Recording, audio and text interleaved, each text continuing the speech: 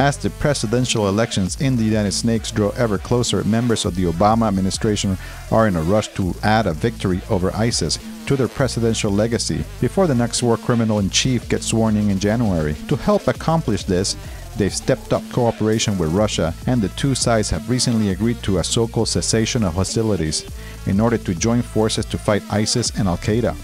But few peeps following things on the ground actually think this latest diplomatic push is gonna work.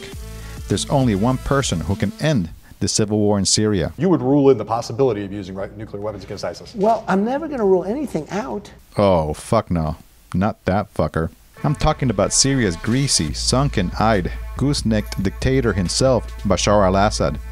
So, with that in mind, I've got a simple plea. Bashar, you've done some pretty fucking heinous shit over the past five years, but there's still time for you to do the right thing. In fact, it's pretty simple.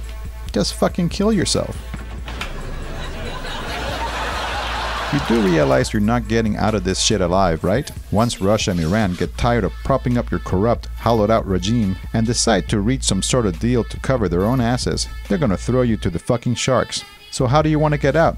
You want to die like Ceausescu, swarmed by a pissed off mob and lynched? Who knows? With all you've done, you probably get the full Mussolini. Or maybe, just maybe, you prefer to take the dignified way out, like a fucking samurai or or Viking warrior or some shit. Or as dignified as a man, as hideous and awkward as you could possibly hope for. Fuck it! You could shoot yourself out of a fucking cannon into the Mediterranean. That might be fun.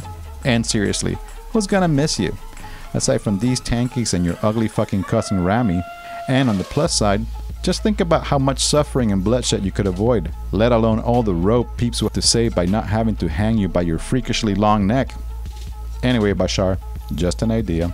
Balls in your court, you miserable piece of shit. أنا حرب أهلية هي ثورة شعب طلعت بالأول سلمية هي ما حرب أهلية هي ثورة شعب طلعت بالأول سلمية.